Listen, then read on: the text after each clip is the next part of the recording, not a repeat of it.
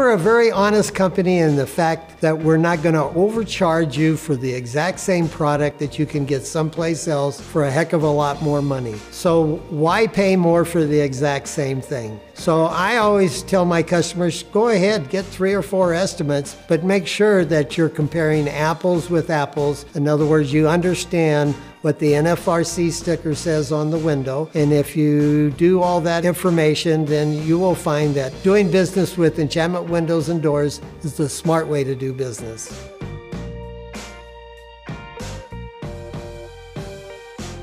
So give Enchantment Windows and Doors a call. I'll come out to your home, give you a free estimate. Any questions that you have, we'd be happy to answer for you.